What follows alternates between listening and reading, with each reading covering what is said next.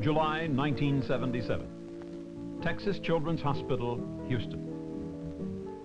A six-year-old named David, who has been confined to germ-proof isolator since birth, enters a specially built mobile isolation suit for the first time. For David's family, his physicians and nurses, it is the fulfillment of a long-held dream, a climax to years of hope and suspense. For David, it is the opening of a whole new world of sights, sounds, and space.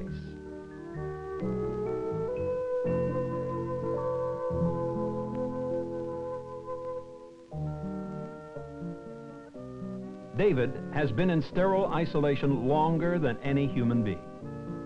His condition, called severe combined immune deficiency, is a rare genetic defect in which the body has essentially no germ-fighting abilities. Exposure to viruses and bacteria that healthy children normally cope with would be life-threatening. Yet, except for this one complication, David has been physically and emotionally sound since birth. During his infancy, hopes ran high that a bone marrow transplant would effect a cure. But by age three, the odds of finding a suitable donor had greatly diminished. With no corrective treatment in sight, David's physicians began to think seriously about mobility, a means that would allow him outside the isolator for brief periods to enhance his social and psychological development. Since space technology appeared to offer the closest parallel, consultations began with NASA's Johnson Space Center, located only a few miles from the hospital.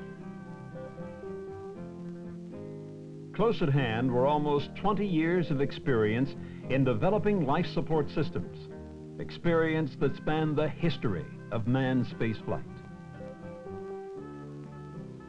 Although the suit built for David looks much like an astronaut spacesuit, its function is not the same.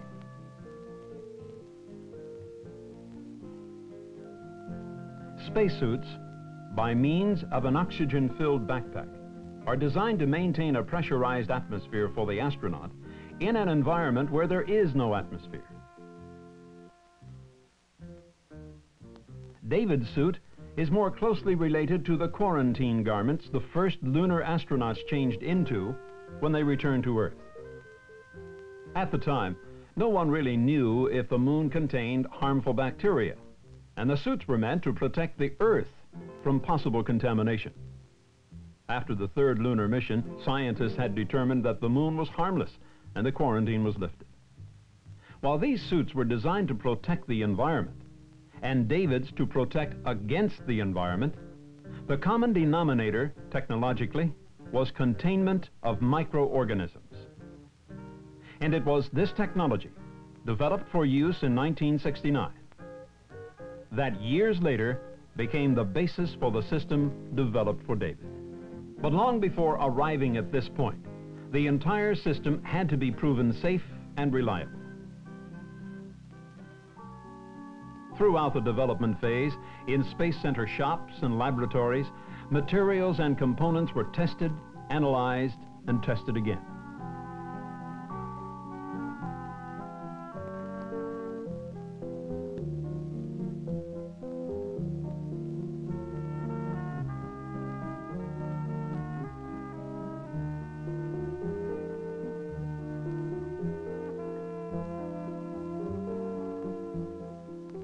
They had to pass tough requirements every step of the way. Requirements much more severe than any they would likely ever encounter in actual use.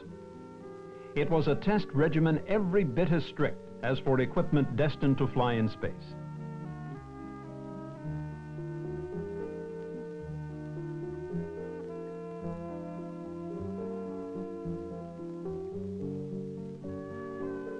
But even with the best testing procedures, no one can pinpoint precisely when a component might fail.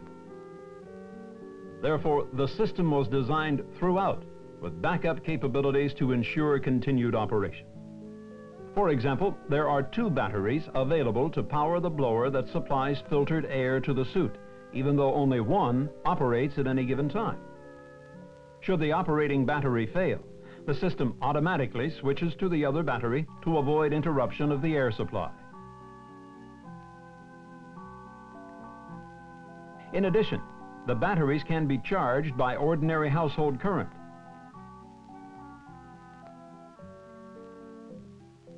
or from an automobile cigarette lighter.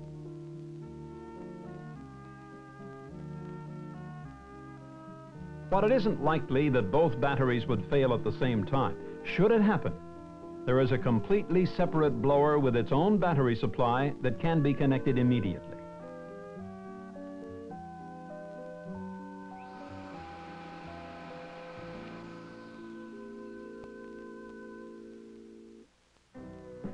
To evaluate the system under realistic conditions, like those it would meet with in actual use.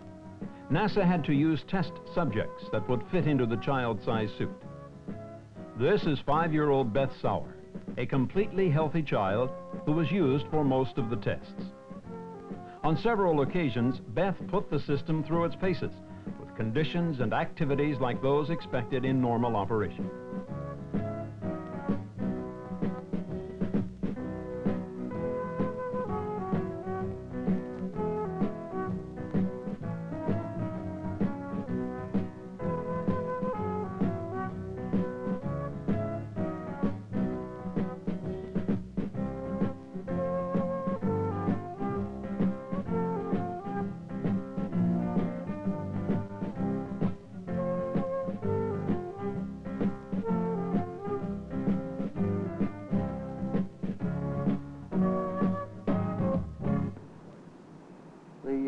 Following checkouts shall be performed before each use of the MBIS.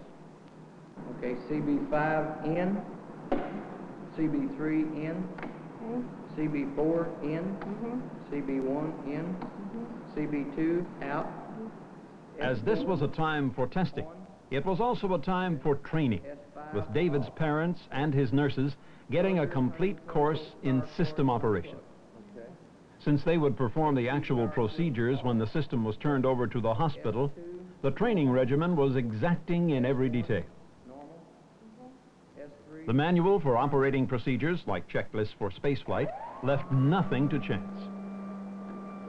The philosophy here, as in all stages of development, came down to a well-defined goal. To make sure David would enter a germ-free suit and exit the same way.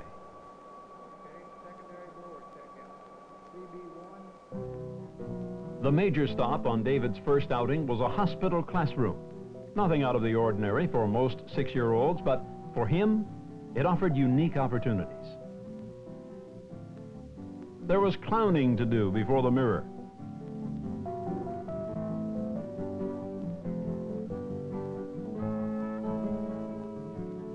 Playing catch with his sister. A genuine thrill when it's the first time and it was a special treat to work in closer touch with his teacher. Although David performs above average in his schoolwork, the mobile isolator, by broadening his environment, will enhance his educational experiences.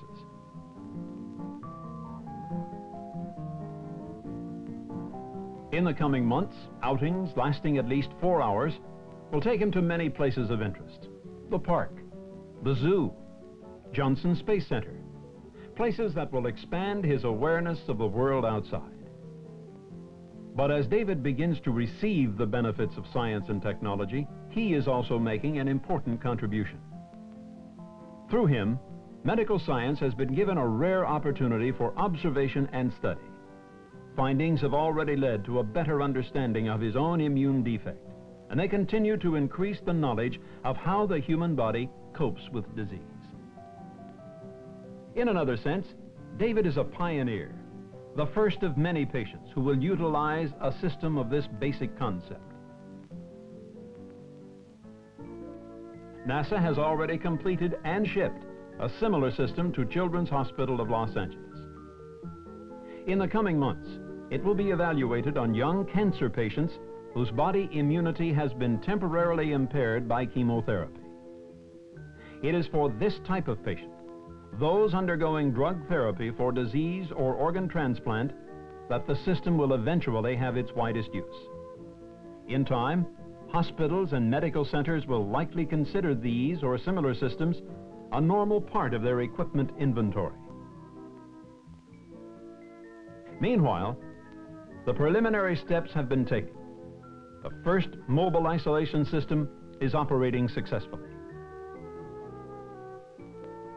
Because of it, David's world has expanded beyond the plastic walls of his isolator. It has placed within reach what promises to be a richer, more normal life experience.